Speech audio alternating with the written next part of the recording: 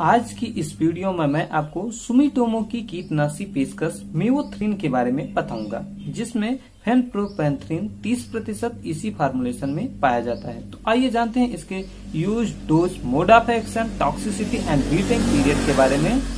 मैं हूँ आपके साथ संजीव शंकर तिवारी, स्वागत है आप सभी का आपके अपने चैनल क्रिएटिव सेस में।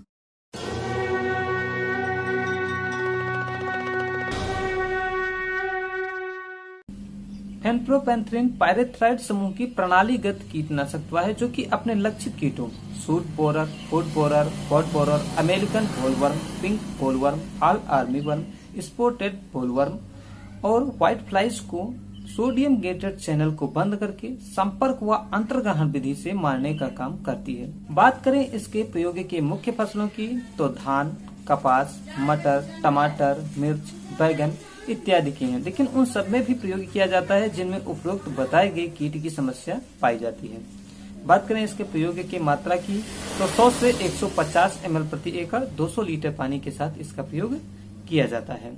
इसकी जो टॉक्सिसिटी है वो येलो लेवल की है, और इसका बेटिंग पीरियड जो है वो कपास के लिए चौदह दिन का है। बाकी जो अन्य फ़सलें हैं, उनके लिए सात दिन का ही होता है। तो आज की इस वीडियो में इतनी ही जानकारी के साथ मैं चाहूँगा आपसे इजाज़त। मिलता हूँ आपको अगली वीडियो में और जानकारी के साथ। तब तक के लिए Ram Ram. Subscribe now and press the bell icon Never miss an update.